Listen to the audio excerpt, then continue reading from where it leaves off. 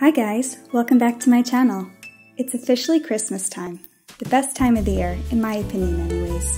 I'm really excited about this series of holiday cocktail videos. Make sure to subscribe so you don't miss any new content, and while you're there, hit the like button too.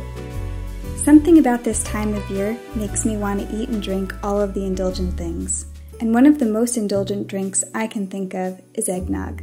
While you could just buy some eggnog in a carton at the grocery store, I really think homemade is so much more superior, and it really is not difficult to make. All you will need are a few ingredients you likely already have on hand, and a little bit of time. In today's video, I will be making two versions of eggnog, the classic and a vegan version.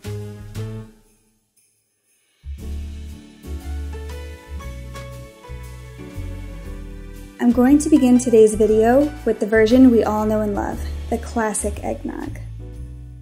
For this recipe, you will need 3 eggs, separated whites from yolks, quarter cup of sugar plus 2 tablespoons, 1 teaspoon of vanilla extract, 3 quarter cup of heavy cream, 1 and 2 thirds cup of whole milk, nutmeg, I highly recommend using freshly grated nutmeg, white rum, and bourbon and a little pinch of salt. First, I'm going to separate the egg whites from the yolks. I'm putting the yolks straight into the saucepan I will be using to cook the mixture. After separating the eggs, cover the whites and keep them in the fridge for now. Next, I'm going to add the sugar to the yolks and whip them until they lighten in color.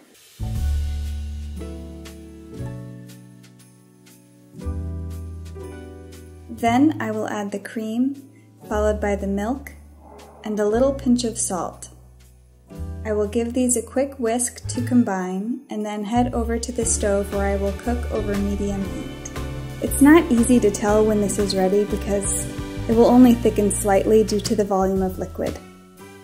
The best way to know when it's ready is by using a thermometer and turning off the heat as soon as it hits 170. For me, this took 5 minutes over medium heat. Once I remove the custard from the heat, I'm going to add in the vanilla and grate in the nutmeg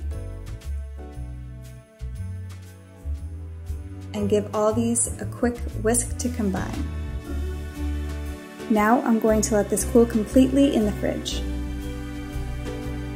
After our custard base has cooled, I'm going to whip the egg whites with 2 tablespoons of sugar to soft peaks.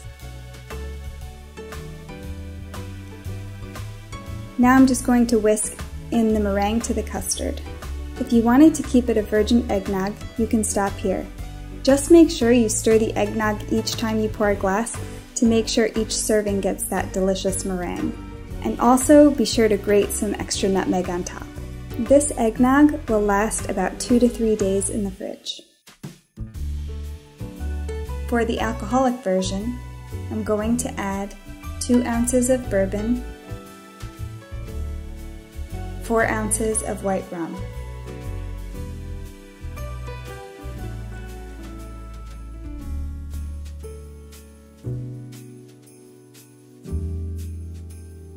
Lightly whisk it all together. And now pour the eggnog into your glass.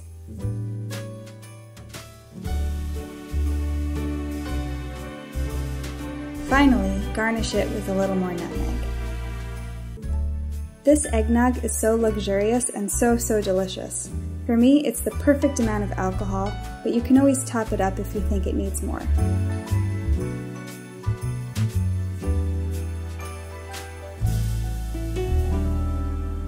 My vegan eggnog is a bit more labor intensive, but the results really pay off. While I was researching and developing this vegan eggnog, I noticed that all the recipes I found were basically a nutmeg milkshake and none had the viscous texture of the traditional eggnog, and they also lacked the fluffy meringue that I believe really makes this drink exceptional. For the base, I went with a homemade oat milk. I chose oat milk because I needed something starchy to help emulsify the oil and also thicken the mixture to a loose custard texture. While store-bought oat milk will certainly work for this recipe, I wanted to make it all from scratch, and honestly, it's much cheaper just to make it yourself and not at all hard. All you need is time, simple ingredients, a blender, and something to strain the oat milk through. For this recipe, you will need a cup of oats, regular old-fashioned rolled oats. Quick cooking oats will give the oat milk a slimy texture.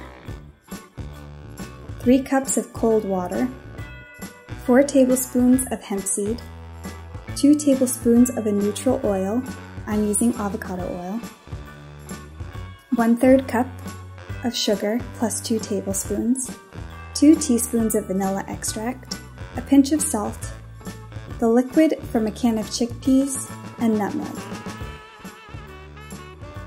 First, you will need to soak the oats in cold water for 3 to 4 hours, then rinse.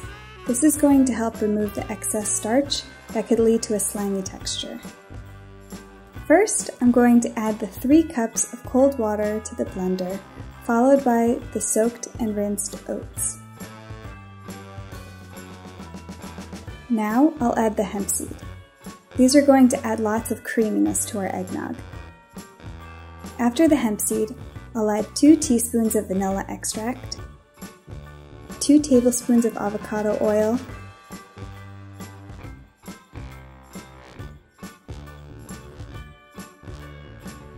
and blend on medium-high for 25 seconds.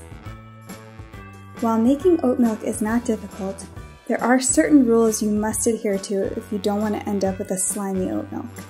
The temperature of the water must be cold, and you really do not want to overblend this mixture. If you do, the texture of the oat milk will be off and it could ruin the drink. To err on the side of caution, I would not blend this for more than 25 seconds. To strain the oat milk, I'm using a nut milk bag and just squeezing the liquid through. If you don't have a nut milk bag, you can just use an old t-shirt or a pillowcase to strain it.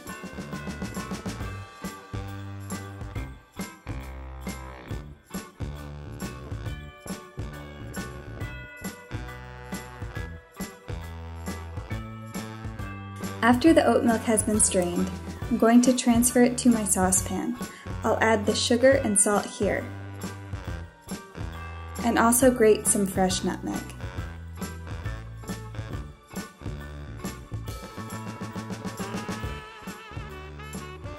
Next, I'm going to heat the mixture over medium heat until it just starts to thicken and resembles a loose custard texture.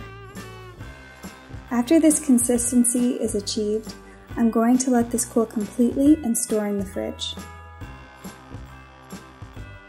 While the oat milk custard is chilling, I'm going to make the vegan meringue. I'm going to add my chickpea water, also known as aquafaba, to a cold metal bowl, along with 2 tablespoons of sugar and whip until soft peaks have formed.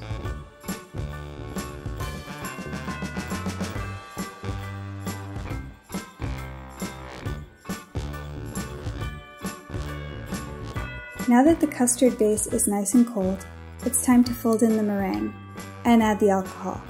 If you want to leave this virgin, you can stop here. For alcohol, I'm going to use 4 ounces of brandy instead of the rum bourbon combination from the original eggnog. I find that the rum and bourbon tend to overwhelm this eggnog, and brandy has a more round mouthfeel that will add complexity to the drink. This eggnog will last a day or two in the fridge, though it's best to drink it immediately, otherwise the aquafaba meringue dissipates after a while. Make sure to whisk before pouring each serving to distribute the meringue, and top with more nutmeg.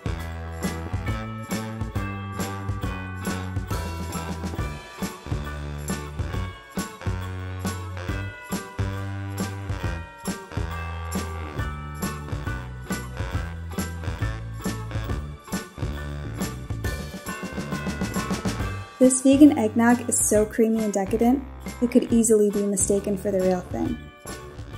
It's hard to believe it's dairy, egg, and nut free. Thanks for stopping by, and I'll see you next week with another holiday cocktail video.